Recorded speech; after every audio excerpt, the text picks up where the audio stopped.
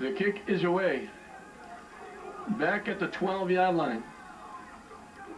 Getting across the 25 to about the 28.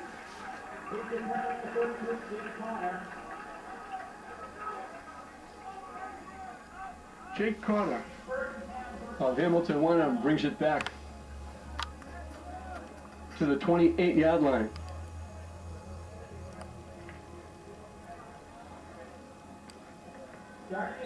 Scott Darby from the prep is the quarterback.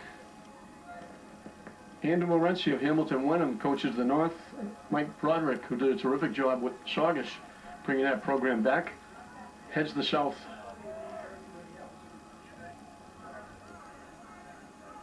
And they go double wideouts, shotgun with Darby.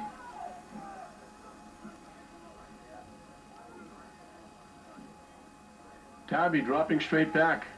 Now rolling to his right, looking in trouble. Dumps it off. It's caught. Now they're saying no catch.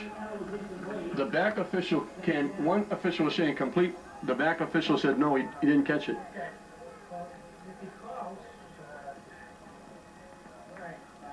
So it'll be second and 10 from the 28-yard line for the North.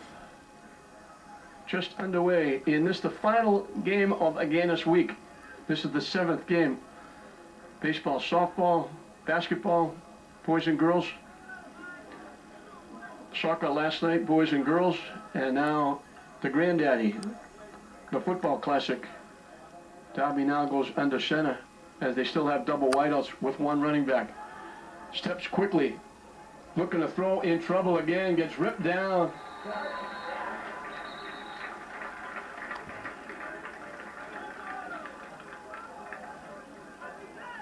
A big loss on the play.